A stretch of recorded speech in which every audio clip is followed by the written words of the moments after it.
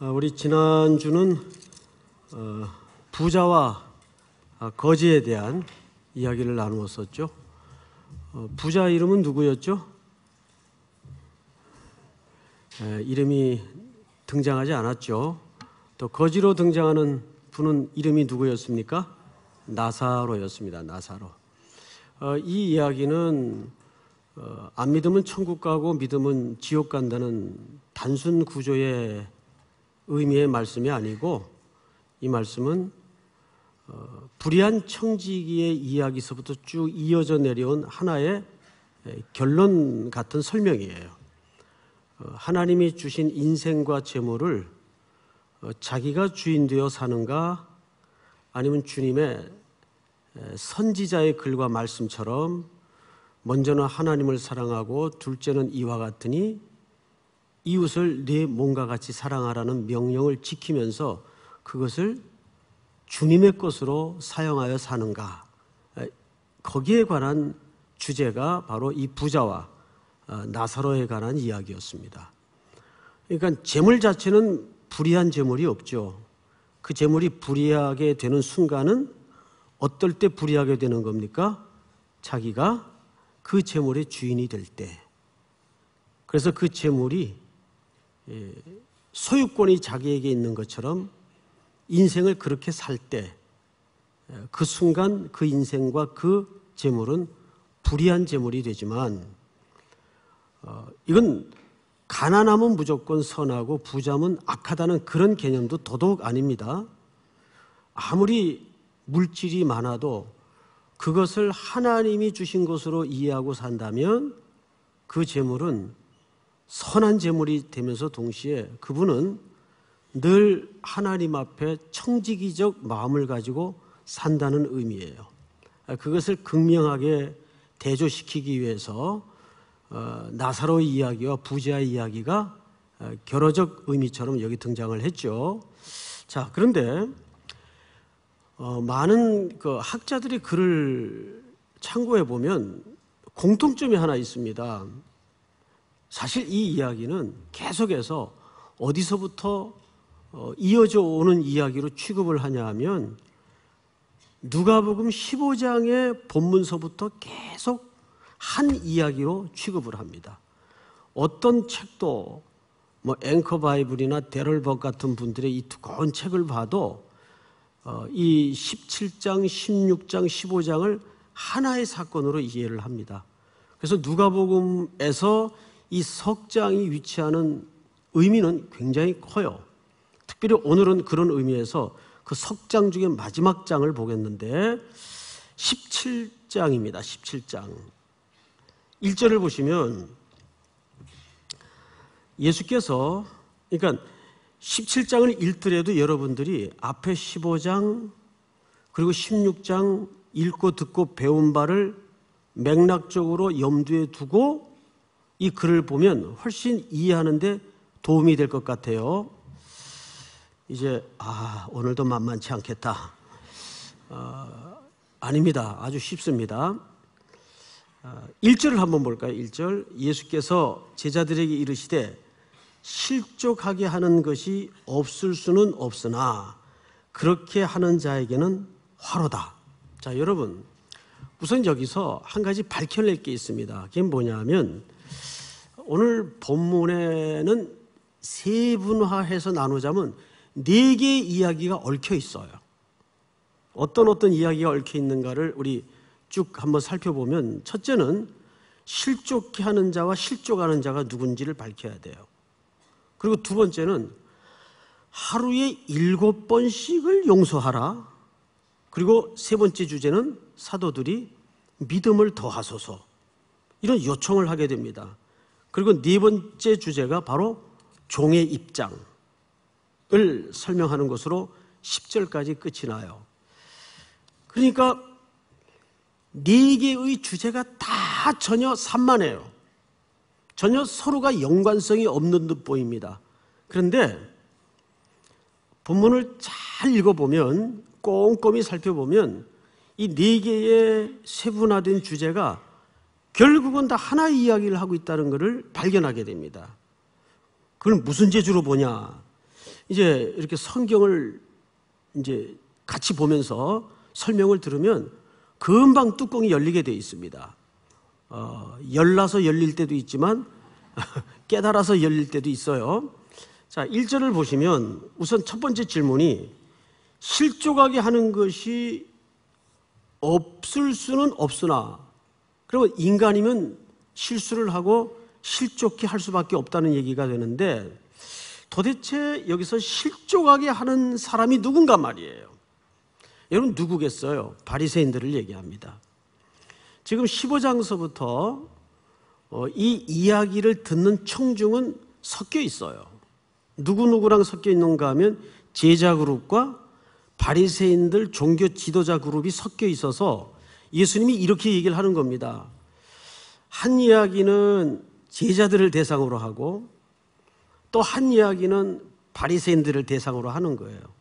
그러니까 우리가 얼핏 보면 15, 16, 17장을 읽다 보면 이 얘기 했다가 저 얘기 했다가 하는 것 같은데 어, 교차 대조법이라는 방식을 통해서 하나님이 그리스도를 통해 일정하게 말씀하시는 겁니다. 하나의 주제를 가지고.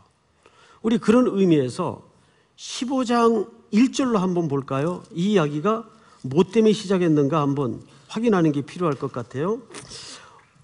모든 세리와 죄인들이 말씀을 들으러 가까이 나오니 바리새인과 서기관들이 수근거려 이르되 이 사람이 죄인을 영접하고 음식을 같이 먹는다 하더라.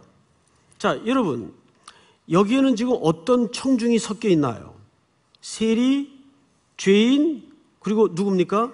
서기관 바리새인이면 종교 지도자들이죠. 자, 그런데 반면에 반면에 16장을 한번 보세요. 또한 제자들에게 이르시되 자, 그러면 이 이야기의 청자는 누굽니까? 제자들이에요. 그렇죠, 여러분? 자, 이게 이렇게 섞여 나와요. 또 16장 14절을 볼까요? 그 이야기를 뭘로 끝내는가? 바리새인들은 돈을 좋아하는 자들이라. 그래서 부자와 나사로의 이야기를 하시더라 그 말이죠. 그러니까 이 정황은 이렇게 된 겁니다. 청중이 여러 청중이 섞여 있어요.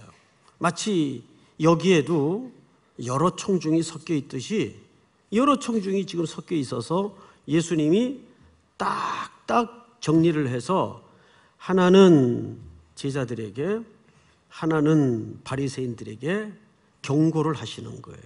교훈을 하시는 거예요. 근데 오늘 17장에 넘어와서 예수께서 지금 누구에게 또 말씀을 시작하시죠? 그렇죠. 제자들에게 이르시되 실족하게 하는 것이 없을 수는 없으나 자 여기에서 그러면 실족하게 하는 자가 누구냐 하면 제자들에게 말하는 걸로 봐서 제자들이 아니고 바리새인들을 얘기하는 건데 너희들도 조심해라 그 뜻입니다. 그러니까 제자들을 놓고 제자들에게 단도직입적으로 설명하는 게 아니라 제자들에게 특별히 바리새인들의 어떤 실수를 조심해라 너희도 그 뜻이에요.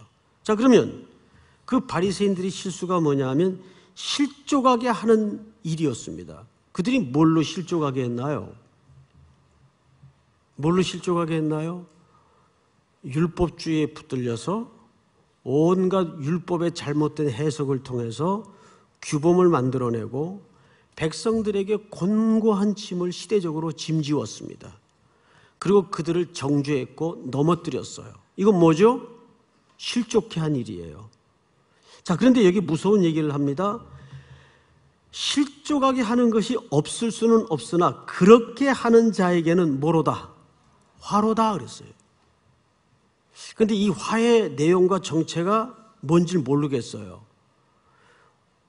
이걸 자세히 안 보면 그 다음에 연자 맷돌을 목에 메고 바다에 빠지는 연못에 빠지는 그게 화인 줄 알아요. 그거 얘기한 거 아니에요. 성경을 잘 보시자고요. 2절을 보시면 그가 이 작은 자 중에 하나를 실족하게 할진데 차라리 연자 맷돌이 금옥에 매여 바다에 던져지는 것이 나으리라.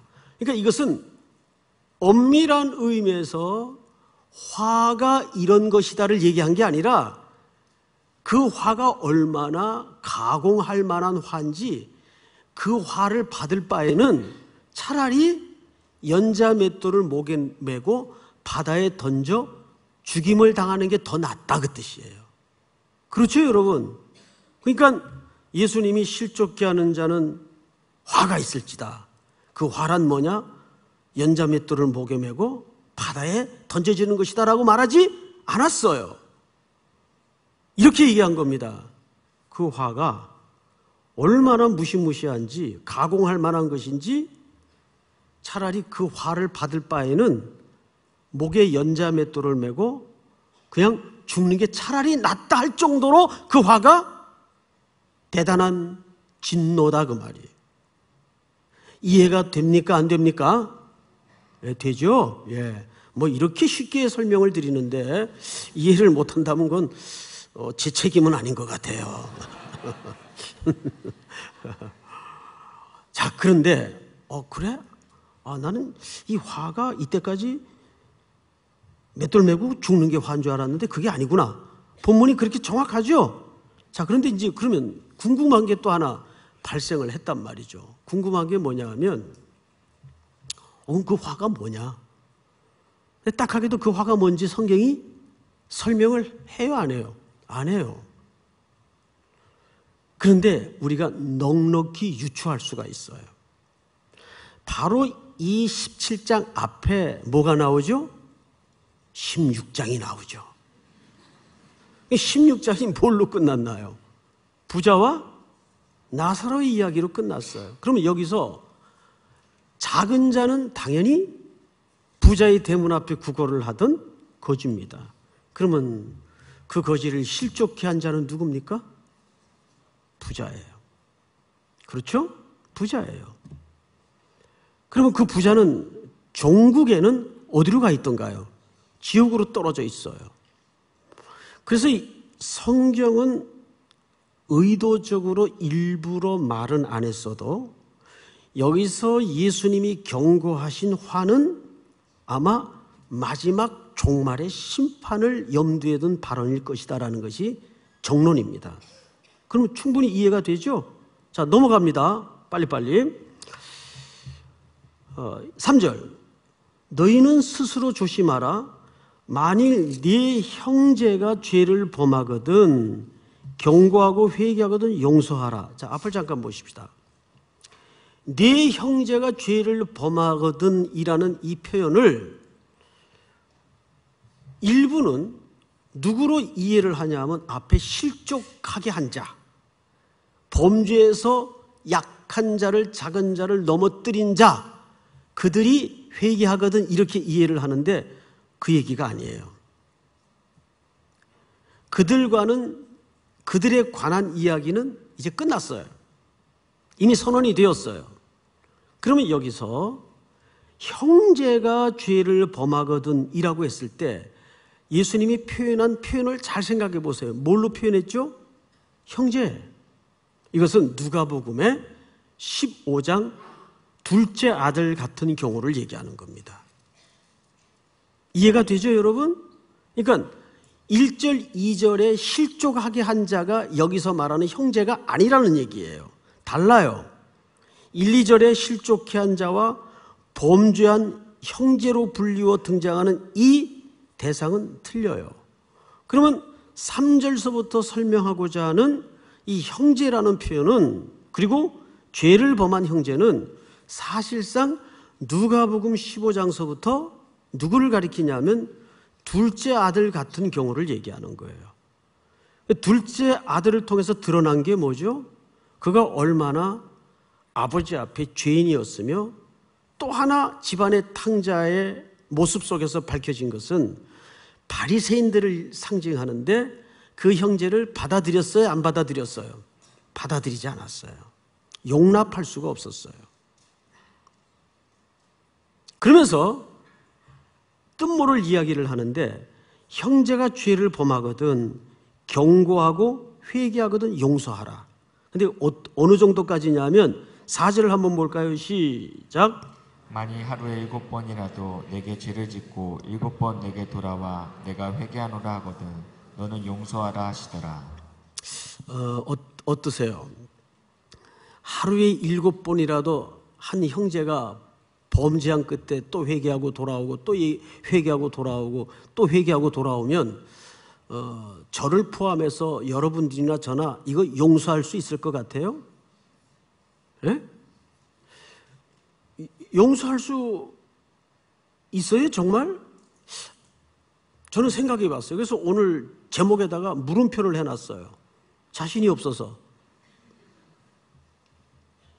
오늘 제목을 잘 보세요. 하루에 일곱 번을 용서하라? 이렇게 된 거예요. 과연 예수님께서 돌아오는 형제를 용서하라는 말이 무슨 의미일까? 우리 그 다음 본문을 보면 금방 어, 드러납니다. 사도들이, 자, 여러분, 아까는 이 이야기를 누구한테 했죠? 제자들한테 했어요. 근데 지금 예수님에게 어떤 요구를 하는 대상은 제자들 범주보다는 훨씬 좁혀진 말하자면 교회의 상징이 되는 사도들이 질문을 합니다. 사도와 제자는 같아요. 그러니까 제자들 무리 속에 사도들이 있을 수 있지만 사도가 어, 제자가 곧 사도는 아닙니다. 그건 구분을 지어서 이해를 해야 돼요. 사도들은 단회적으로 끝난 겁니다. 그리스도의 구속이 완성되고 성경이 완성되고 교회가 이루어졌기 때문에 더 이상 그 이후에 사도들은 존재하지 않아요. 신사도 다 불어난 운동들입니다. 또 속사도 마찬가지예요. 우리 목회자들은 사도 사도가 아니에요. 사도라고 그러는 사람들이 있죠. 그건 다 틀린 이론입니다. 위험해요. 또 다른 교회가 가능성이 있고 또 다른 계시가 가능성이 있다는 말이 될 수도 있습니다. 그런 의미에서 자, 오늘은 그 주제가 아니니까 그냥 지나가십시다. 사도들이 주께 여짜오되 우리에게 뭐를 더하소서 하니 뭘 더해요? 믿음을 더해 달래요. 자, 앞을 보세요. 이래야 맞는 거 아니에요? 우리에게 그렇게 하루에 일곱 번이라도 찾아오면 빌면 또 용서할 수 있는 사랑을 더하시옵소서. 뭐 이러면 이해가 돼. 그런데 믿음을 더하소서 그랬어요. 믿음을 더하소서. 왜 그랬을 것 같아요? 자, 이제 그 다음 예수님의 이야기를 좀 들어보십시다. 주께서 이르시되 너희에게 겨자씨 하나일 만한 믿음이 있었더라면 여기 무슨 법을 사용했습니까? 가정법을 썼어요. 그러니까 있었더라면은 있다는 얘기입니까? 없다는 얘기입니까? 이건 없다는 얘기예요, 사실은. 아니, 너희들이 믿고 있는 그 믿음이 사실은 참된 믿음이 아닐 수 있다는 얘기예요. 그 다음 또 볼까요? 믿음이 있었더라면 이 뽕나무더러 뿌리가 뽑혀 바다에 심겨라 하였을 것이요. 그것이 너희에게 순종하였으리라. 이게 이제 마태, 마가, 어, 또 누가 버전이 다 달라요. 어떻게 다른가 하면 그래서 저도 많이 이거 참 혼동을 일으키는데 이렇게 다릅니다. 제가 성경을 좀 읽어 드릴 테니까 듣기만 하십시오. 마태복음에는 이르시되 너희 믿음이 작은 까닭이니라 진실로 너희에게 이르노니 만일 너희에게 믿음이 겨자씨 하나일 만큼만 있어도 이 산을 명하여 저리로 옮겨지리라면 옮겨질 것이요. 근데 오늘 본문에는 산입니까? 뽕나무입니까? 뽕나무예요. 이거 헛갈리지 마세요. 뽕나무가 어디에 심겨진답니까? 바다에, 바다에. 마태는 그냥 산이 다른 곳에 옮겨질 수 있다. 작은 겨자씨만한 믿음이 있다면 마가는 이걸 이렇게 얘기했네요. 내가 진실로 너희에게 이르노니 누구든지 이 산더러 여기 또 산입니다. 들려 이번에는 바다에 던져지라 하며 그러니까 이 세 개의 이야기가 섞여 있어요. 그렇죠, 여러분? 산더러 들리어 바다에 던져지라 하며 그 말하는 것이 이루어질 줄 믿고 마음에 의심하지 않으면 그대로 되리라. 이것은 큰 문제가 아닙니다. 각 기자가 바라보는 관점과 설명하고자 하는 초점이 다르기 때문에 다른 표현을 한 거예요. 그래서 이런 차이가 있다고 해서 어, 성경이 이상하다 이렇게 보지 마시고 여기서 중요한 것은 예수님이 가정법을 썼다는 겁니다. 잘 보세요. 예, 주께서 이르시되 너에게 겨자씨 하나할 만한 믿음이 있었더라면 이 말은 있다는 얘기가 아니고 있는 것처럼 보여도 그것이 약하거나 참된 믿음이 아닐 수 있다는 얘기예요. 있었더라면 이 뽕나무더러 뿌리가 뽑혀 바다에 심겨라 하였을 것이요 그것이 너에게 순종하였으리라. 여기에서 보면 가정법을 받쳐주는 내용으로 문법이 끝나죠. 자 그러면 자 앞을 보세요. 어, 복잡합니까? 그러니까 한 절 한 절 읽다 보면 끝에 가서 전체가 이해되게끔 돼 있어요. 두고 보세요. 이해가 되나 안 되나? 어, 제 질문에 잘 생각만 놓치지 말고 따라오면 돼요. 여러분들이 언제 주일 낮 시간에 이렇게 어, 아주 조밀한 어, 꼼꼼한 어, 성경을 들여다볼 수 있는 시간이 있겠어요. 저녁 시간 외에는 불가능해요. 그래서 저녁에 나오시는 분들은 복 받은 겁니다. 음. 그것은 여러분들이 내가 지금 말을 제대로 했나요? 그 오해는 하지 마세요. 어, 이렇게 성경을 배우고 읽고 들을 수 있는 자리에 나와 있다는 게 복이다 그 말이에요. 예. 어, 자, 이제 예수님의 이 대답이 뭘 말하는지를 좀 알고 지나가십시다. 그러면 여기서 강조하는 것이 겨자씨예요. 겨자씨가 얼마나 작아요. 이 지구촌에 존재하는 씨 가운데 가장 작은 씨는 아니지만 사실 겨자씨보다 더 작은 씨들이 많아요. 근데 이제 이스라엘에서는 이때 당시에는 겨자씨가 제일 작았어요. 작다는 것에 수사적 표현으로 이해를 하면 좋겠어요. 그러니까 지금 이 사도들 마음 속에는 어, 그 믿음마저도 의심스럽다 그 말이에요. 그 믿음마저도.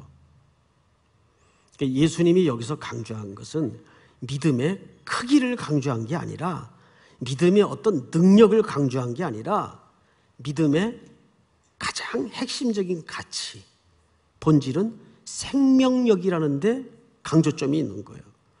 너희의 믿음이 정말 영혼 속에 심어져서 그것이 참 믿음, 다시 말해 생명력이 있는 믿음이라면 이런 결과와 역사가 열매가 충분히 나올 수 있다. 그 얘기를 강조하는 거지 크기의 얘기를 강조하는 게 아니에요. 자, 그런데 다음 줄을 한번 볼까요? 7절, 7절. 우리 한번 다 같이 읽어볼까요? 7절, 시작. 너희 중 누구에게 밭을 갈거나 양을 치거나 하는 종이 있어 밭에서 돌아오면 그대로 곧와 앉아서 먹으라 말할 자가 있느냐? 아, 여러분 이것은 예수님이 당시 사회적 문화를 인용해서 말씀하신 것뿐이지 그래서 종의 제도를 인정하고 용납한 이야기가 아닙니다. 또 이 본문을 가리켜서 그렇게 해석하는 분들도 계세요. 예수님은 그 당시의 사회적 정황을 인용해서 사도나 제자들에게 어떤 메시지를 가르치는데 인용을 했을 뿐이지 종의 제도를 용납함으로써 하나님이 마치 창조 때부터 계획한 것처럼 그렇게 설명을 하면 안 됩니다. 무슨 말씀인지 이해하시겠죠? 근데 여기에서 종이라는 표현이 있는데 이게 사실은 둘로스라고 돼 있어요. 둘로스.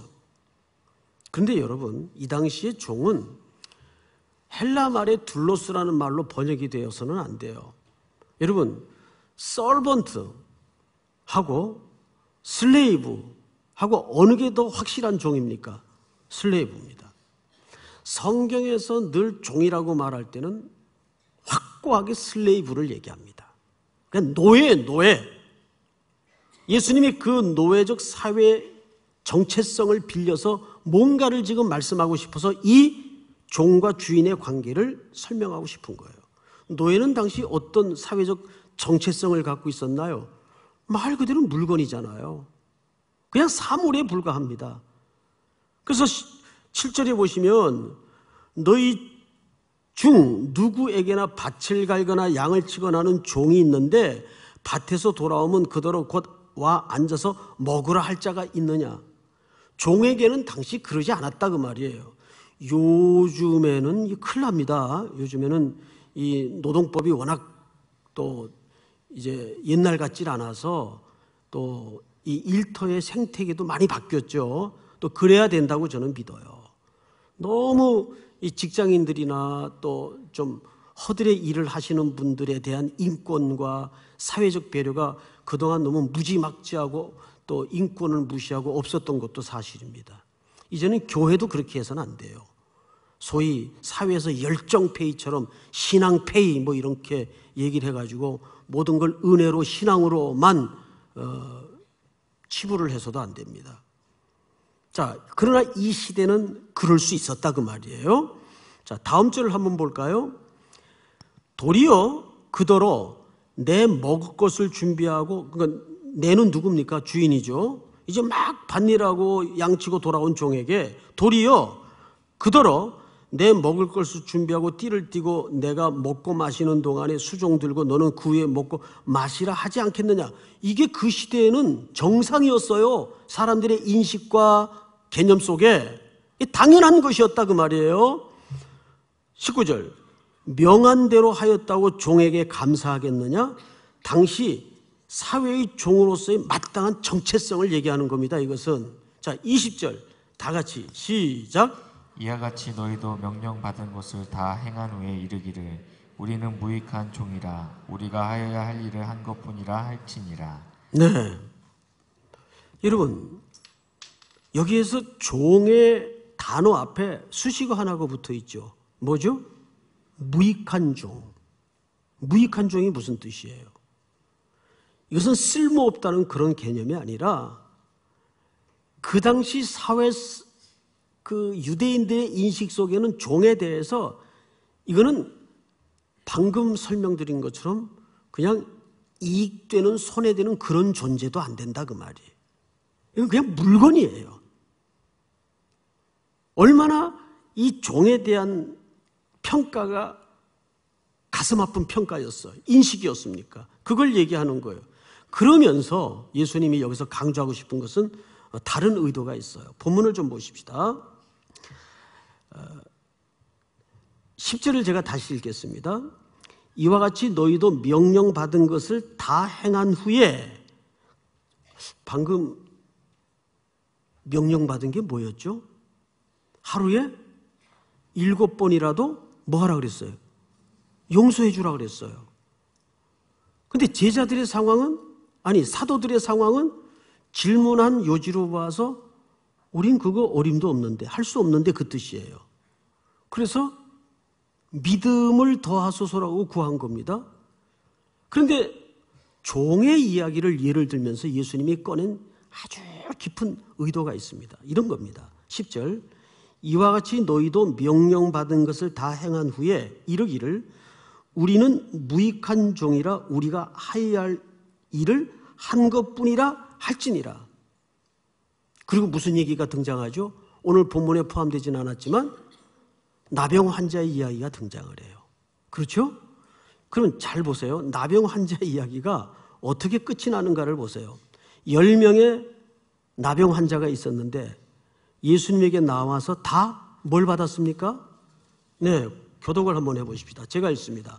예수께서 예루살렘으로 가실 때 사마리아와 갈릴리 사이로 지나가시다가 한 마을에 들어가시니 나병 환자 10명이 예수를 만나 멀리 서서 13절 다 같이 시작. 소리를 높여 이르되 예수 선생님이여 우리를 불쌍히 여기소서 하거늘 이들은 지금 정상인 유대 남자를 가까이 할 수 있는 신분이 아니죠. 그래서 멀리 서서 소리칠 수밖에 없었던 거예요. 자, 그리고 나서 불쌍히 여기서서 하거늘 보시고 이르시되 가서 제사장들에게 너희 몸을 보이라 하셨더니 그들이 가다가 깨끗함을 받은지라 그랬어요. 자, 여러분 여기에서 나병 환자들이 무슨 회개했다는 내용이 있습니까? 뭐 서로 뭐 행위를 했다는 내용이 있습니까?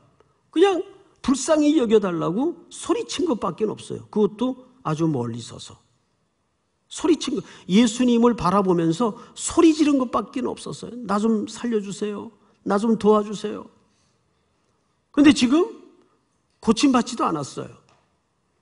원래 나병은 고쳐지면 의사에게 가서 검진을 받도록 되어 있질 않고 종교 지도자인 제사장에 가서 검진을 받도록 되어 있습니다. 레위기에 보면 이유는 이 나병이 갖는 성격은 영적인 상징이 담아져 있기 때문에 그래요. 나병이라는 병의 가장 본질적 상태 증상은, 증상은 무감각증이라는 겁니다. 살이 썩어 들어가고 살점이 떨어지는데 감각이 없고 통증이 없어요. 마치 무엇을 잘 드러내는가 하면 우리의 죽은 영적인 상태를 잘 드러내는 가장 상징적인 병이기 때문에 나병은 우리 인간의 죄가 무엇인지를 상징하는 병이에요.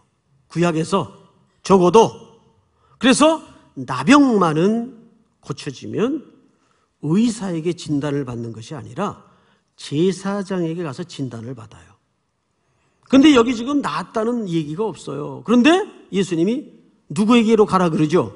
제사장에게로 가라. 자, 볼까요? 15절, 14절. 보시고 이르시되 가서 제사장들에게 너희 몸을 보이라 하셨더니 그들이 가다가 가다가 어떻게 했어요?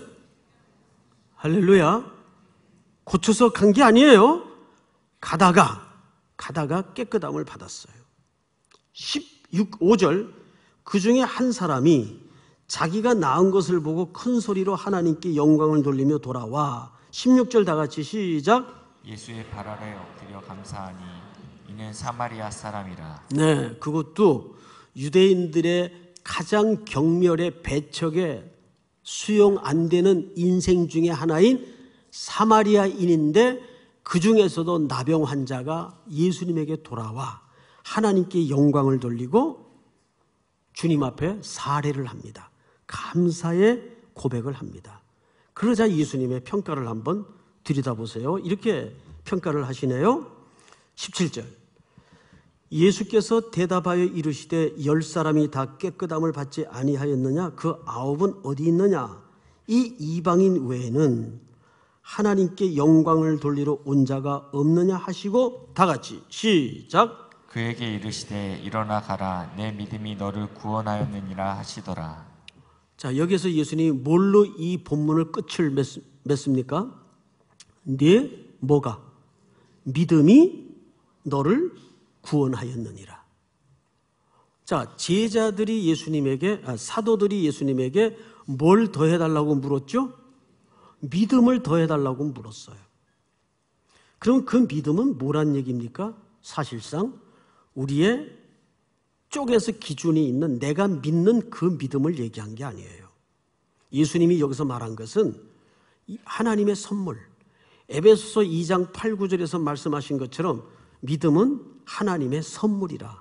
이는 행위나 모든 것들을 자랑하지 못하도록 하기 위해서 나병 환자 10명이 예수님 명령 듣고 제사장에게 진단을 받으러 가다가 고침을 받았다는 것은 어떤 병을 고침받고 나올 만한 액션이 없었다는 얘기예요.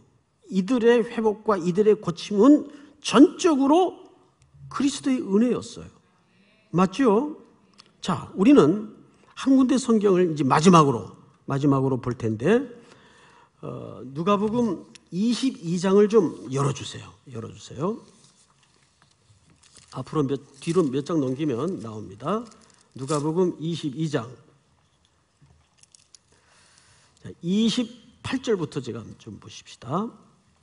너희는 어, 나의 모든 시험 중에 항상 나와 함께한 자들인즉 내 아버지께서 나라를 내게 맡기신 같이 나도 너희에게 맡겨 다 같이 시작 너희도 내 나라에 있어 내 상에서 먹고 마시며 또는 보좌에 앉아 이스라엘 열두 지파를 다스리게 하려 하노라 여러분 이 말이 무엇 얘기하기 위해서 꺼내놓은 이야기인지 아세요? 베드로의 부인을 얘기하기 위해서 꺼내놓은 겁니다. 그러면서 24절을 잘 주목해 보세요.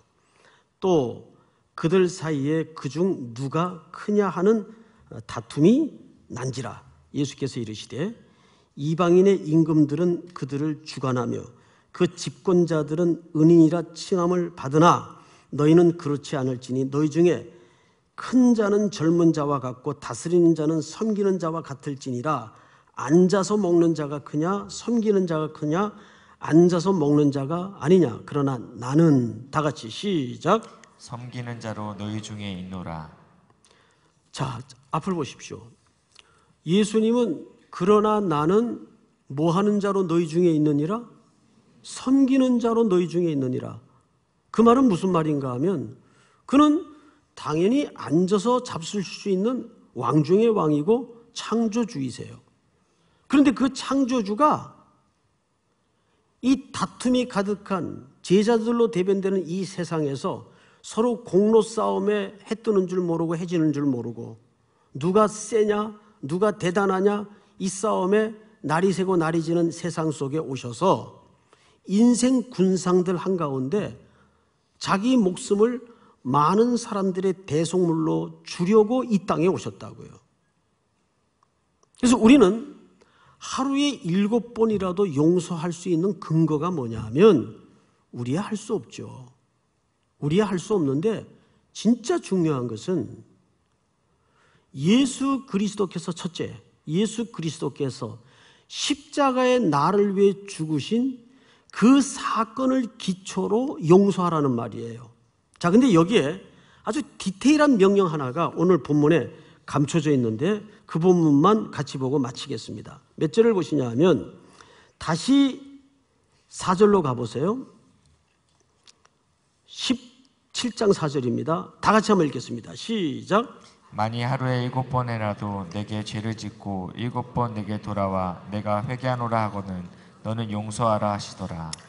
어, 여기 가장 가장 중요한 얘기가 뭘까요? 바로 이 부분입니다. 일곱 번이라도 내게 죄를 짓고 일곱 번 내게 돌아와 그 죄 지은 사람이 뭐라고 얘기하죠? 내가 뭐 합니다? 자, 그러면 여러분 보세요. 내가 회개합니다라는 말은 누구 기준으로 이 고백을 하는 겁니까? 자기 기준으로 고백하는 거예요. 나 당신한테 사과합니다.